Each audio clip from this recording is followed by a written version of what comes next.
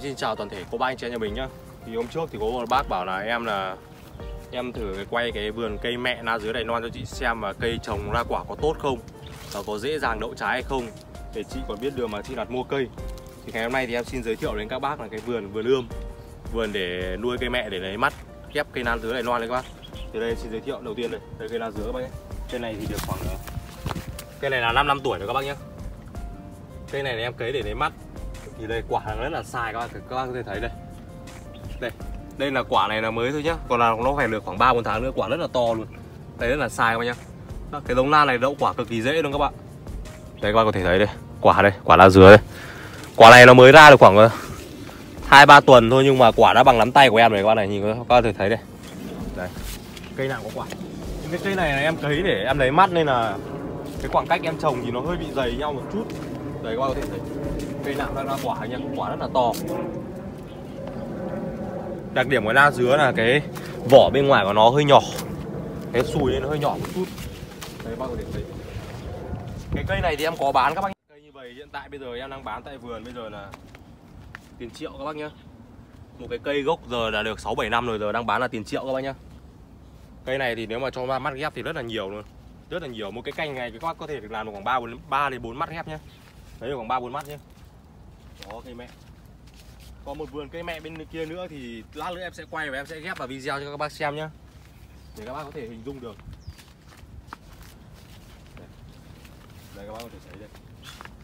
Bác nào bảo la này không có quả hay là nó không sai thì bác có thể nhìn đây. Cực kỳ sai. Một cây có thể rơi vào khoảng đây các bác có thể cây này sơ sơ các bác nhá. Cây này thì em đếm sơ sơ nó phải được khoảng 5 70 quả đấy các bác ạ cái giống la thì các bác, đa phần là các giống la thì bác trồng cho em ở các đất đồi đồi sỏi các bác nhá. Thì khi đó mà quả la sẽ rất là to và nó được phát huy hết cái cái ưu điểm của cây na các bác nhá. Ưu điểm của cây na là khi mà mình trồng đất đồi các bác, thì mình trồng nó sẽ quả được, nó sẽ được to hơn. Đây. Bất kỳ cây nào cũng có quả, các bác nhìn bất kỳ cây nào rất là sai này. Cây nào rất là sai này các bác nhá. Đây này, các bác có thể nhìn này. Chị quay gần đây cho các bác xem. Cây rất là sai đối với cái vùng này em trồng vì là em trồng là vì em trồng cây này là chỉ để là em lấy mắt ghép nên là cái chăm sóc và cũng như cái khoảng cách trồng của nó chưa được chuẩn. Chính vì thế là quả na nó chưa được uh, to hết cỡ cũng như đây là chỉ là đất đồng bằng thôi các bác nhé em ở hà nội nên là đây là đất đồng bằng cạnh sông hồng. Nên là quả na nó chưa được to hết hết, hết cỡ. Nên các bác có thể lưu ý chút em nhé còn bác nào mà có nhu cầu mua cây giống thì có thể, đây rồi em sẽ dẫn các bạn đây cây giống đây, dẫn đây là cây giống cây ghép đây. Các bạn đây, hàng ghép đây các bác nhá. Thì em sẽ bán mấy chục nghìn một cây rồi, cây giống thì sẽ mấy chục nghìn thôi các bác nhá. Đó. thì nhiều bác thắc mắc là em chỉ bán giống thôi, em chưa có cây có quả. Thì đây, hôm nay là đây, sẽ quay các bác xem nhé đây. đây các bác này. Rất là xài.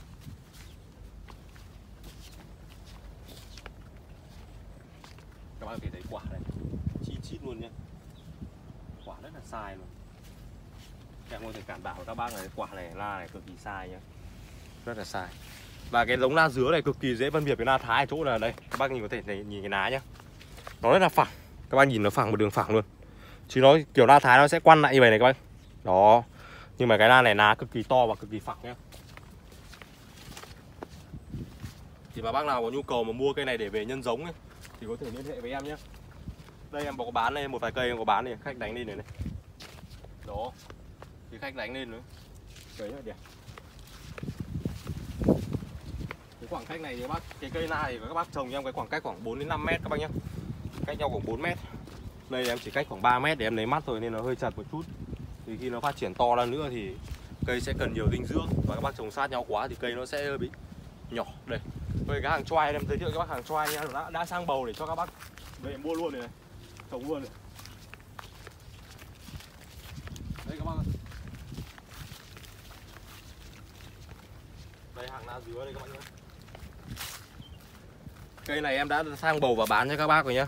Các bác nào có nhu cầu mua cái hàng này thì có thể liên hệ với em nhé cây gốc rất là đẹp luôn. Đây. Đây các bác có thể thấy đây. Đó đây, những cái cây này thậm chí đã có lụ rồi các bạn này. Cây này được hơn 2 năm đấy. Lụ rất là nhiều thì bác nào có nhu cầu mà mua giống la dứa thì có thể liên hệ với em nhé